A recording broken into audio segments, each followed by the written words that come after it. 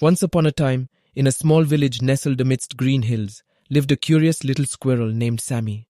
Sammy was known for his mischievous nature and his insatiable hunger for adventure. Every day he would explore the forest, jumping from tree to tree, collecting nuts, and playing with his friends.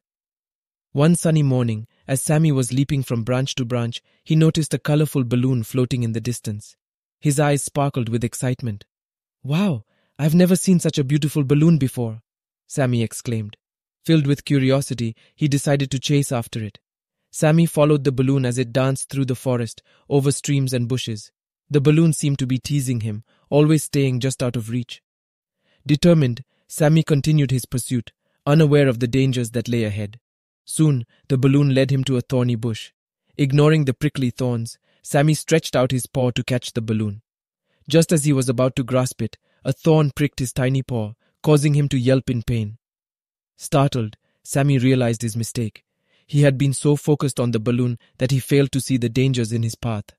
As tears welled up in his eyes, he thought about the lessons he had learned from his parents and friends.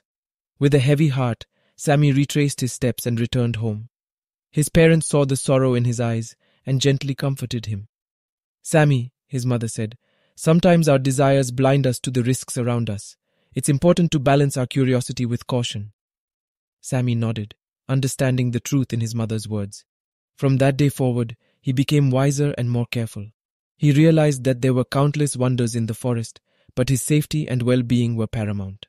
The story of Sammy the squirrel spread throughout the village, teaching all the little animals the importance of balance and caution. Sammy's misadventure became a valuable lesson for everyone, reminding them to cherish their curiosity while being aware of the potential dangers. And so, Sammy grew into a wise and respected squirrel, sharing his story with generations to come.